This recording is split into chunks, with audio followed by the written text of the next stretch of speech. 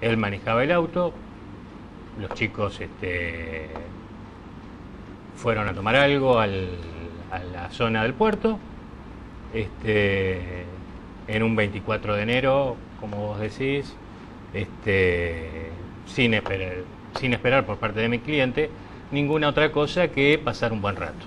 ¿Qué es lo que dicen en la versión de Fernández? Eh, ¿Tuvieron un entredicho, chocaron, eh, estaban alcoholizados? ¿Qué?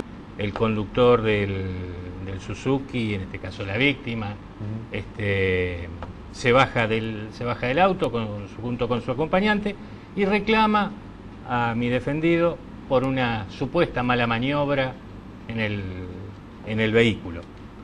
Eh... A ver, quiero parar un poquito la pelota ahí, doctor.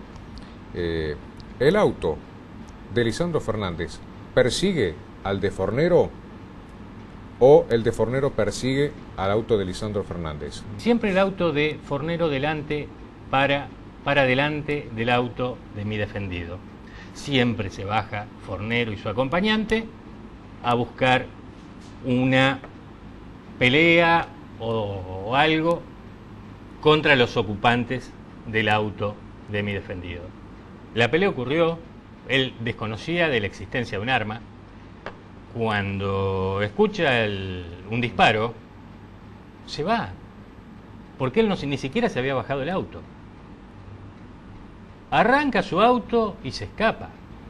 Por eso mismo, eh, la situación en donde llega imputado de partícipe de homicidio es, digamos, es casi traída de los pelos en el sentido de toda la situación, en ningún momento la situación ha sido buscada. Eh, no se los emboscó, no se los persiguió, eh, no se los, este, en ningún momento buscaron la pelea.